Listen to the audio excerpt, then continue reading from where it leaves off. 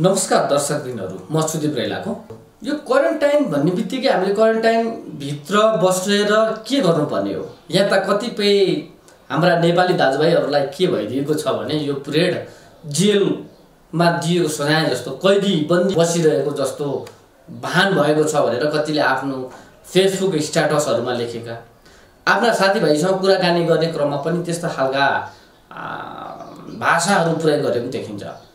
तपाईँहरू यो नठान्नुहोस् कि यो क्वारेन्टाइन तपाईँहरूलाई जेल कैदी राखेको हो। त्यो होइन हामीले मानवीय धर्म पुरा गर्नको निमित्त कोरोना भाइरस युद्धको निमित्त कोरोनाको लडाइँ हो यो अहिलेको लडाइँ भनेको कोरोनाको लडाइँ हो।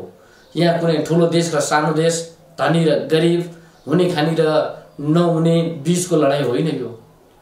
यो न त कुनै काला काला जातिका लागि हो न यो कुनै गोरा जातिको लागि हो यो सबैको हितको निमित्त हो सम्पूर्ण मानव जातिको निमित्त हो तसर्थ तपाईँ एकजनाको मिस्टेकले हजारौँलाई यो रोग सर्न सक्छ तपाईँको एक मिस्टेकले हजारौँको मृत्यु हुनसक्छ तसर्थ तपाईँले मिस्टेक नगर्नुहोस् आज तपाईँलाई क्वारेन्टाइनभित्र भनेर घरभित्र आफ्नो घरभित्र राख्दाखेरि तपाईँ आफूलाई जेलमा भएको कैदीको महसुस गर्नुहुन्छ भने तपाईँ बाहिर गएर के गर्नुहुन्छ? दुई मिनट सोच्नुहोस्।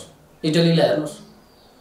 यही क्वारेन्टाइन नेपाल सरकारले अहिलेको जुन अलिकति सचेत भएर जुन टाइमलाई राखिदिएको छ यो टाइमलाई हामीले ध्यान दिएर विशेष चासोका साथ विशेष महत्त्व हो यो। यो अनिवार्य छ भन्ने ठानेर हामी यदि आफ्नो घरभित्र बस्यौँ भने अवश्य पनि हामी यो लडाइँलाई जित्न सक्छौँ। कोरोना भाइरस विरुद्धको लडाइँ हाम्रो जित हुनेछ।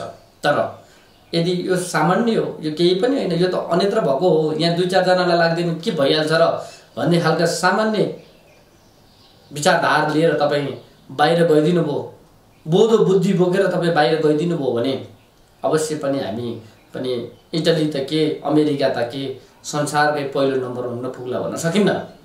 तसर्थ आदरणीय दाजुभाइ तथा दिदीबहिनीहरू नेपाल तथा नेपाल बाहिर रहनुभएका नेपाली दाजुभाइ तथा दिदीबहिनीहरू म के भन्छु भने तपाईँहरूलाई बोर लाग्दो हो किनकि हामी अफिसियली रूपले काम गरेर हिँडेकाहरू जो ड्युटीमा बिहान बेलुकाको छाक टार्नका निमित्त दौडधुप गर्नेहरूका निमित्त आज घरभित्रको एउटा सानो साँगुरो कोठामा बस्दाखेरि पक्कै पनि बोझ लाग्दो हो विरक्ति लाग्दो हो सन्तासको सन्नाटा अगाडि आउँदो हो त्यो आफ्नो ठाउँमा छ। तपाईँ पीडाबाट हट्नु छ सम्पूर्ण मानव जातिको रक्षाको निमित्त रहनु छ भने तपाईँ कोठाभित्र रहँदा हुन्छ रैला युट्युब च्यानललाई लाइक कमेन्ट र सब्सक्राइब गरिदिनु हुन हार्दिक अनुरोध गर्दछु